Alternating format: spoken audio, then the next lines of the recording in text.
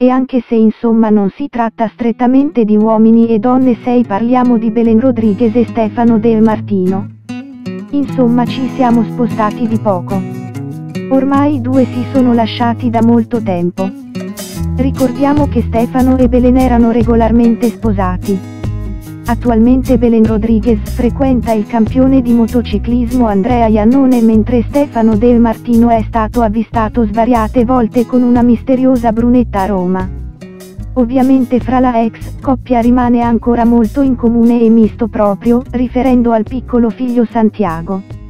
E pare proprio che Santiago sia proprio l'ultima cosa che li leghi ancora. Insomma per farvela breve la settimana scorsa, hanno firmato la sentenza di divorzio. Stefano e Belenda questa settimana quindi non sono più sposati nemmeno davanti alla legge. Santiago è stato affidato alla madre Belen. Il padre Stefano potrà comunque vederlo nei fine settimana ogni 15 giorni e durante le vacanze. Per il mantenimento inoltre Stefano De Martino dovrà versare alla madre Belen Rodriguez la somma di 1000 euro al mese. Il divorzio è stato consensuale. I presenti alla sentenza di divorzio hanno parlato di un rapporto molto gelido fra i due che si sono appena scambiati un ciao.